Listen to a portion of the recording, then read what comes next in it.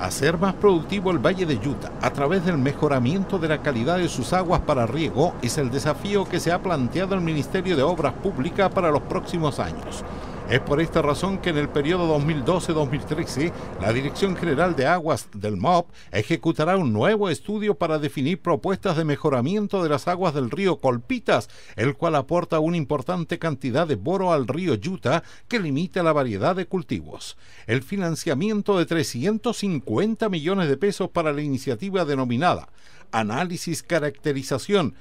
hidrogeológica Cuenca Río Colpitas fue aprobado por el Consejo Regional encabezado por el intendente José Durana. A través de este estudio, el MOP obtendrá propuestas de obras para mitigar o eliminar el boro que aporta el río Colpitas al río Yuta en la parte alta de la cuenca. Este análisis se sumará al que ya tiene en plena ejecución el Ministerio desde el 2010 y que culmina este año para obtener un plan de manejo del río Azufre, que es otro de los afluentes que aporta arsénico y otros minerales que contaminan naturalmente las aguas de este valle. El intendente José Durana indicó que estos estudios forman parte del plan hídrico que comprometió el presidente Sebastián Piñera para esta región, consciente de que la agricultura es una actividad económica que puede potenciarse aún más en el territorio, especialmente si se logra que las aguas del río Yuta sean mejores para diversificar los cultivos y aumentar la productividad.